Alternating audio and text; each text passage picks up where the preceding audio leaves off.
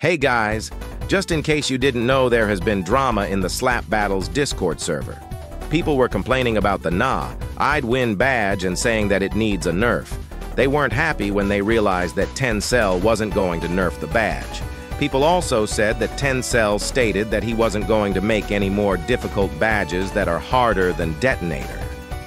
The moderators had to lock the channel because people were spamming the same phrase telling Tencell to nerf it. That's how you know it's bad. Look at these messages they sent.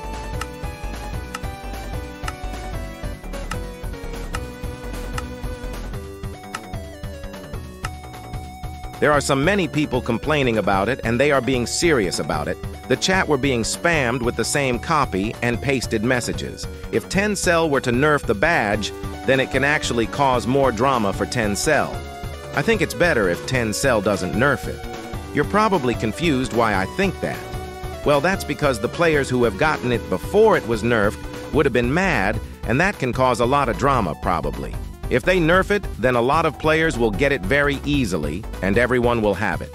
When everyone has it, then it wouldn't be special anymore, and Tencell will have to nerf it because everybody has it, and due to how powerful the Avatar Glove is. You don't want everyone in the server to have it and spam the Avatar ability 24-7. It would be very unbalanced for everyone if they nerf the badge since everyone has it, and that would be very annoying. It is the most overpowered glove in slap battles, stronger than Overkill. It can literally one-shot players. It would have been more worse if they nerf it. That is why the badge shouldn't be nerfed. That's the whole entire point why it's overpowered. Look at what Rocky said.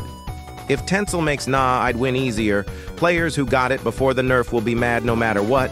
People will always complain the devs should definitely fix the bugs, though. I agree with Rocky.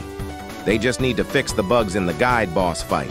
Tencell is making the right choice to not nerf it, because he knows that it'll make the game worse and unbalanced for everyone.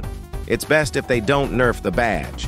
But always remember, don't ruin your mental health for some stupid badge or glove. It isn't worth it. I hope you guys can understand. Goodbye, everyone. I'll see you in the next video.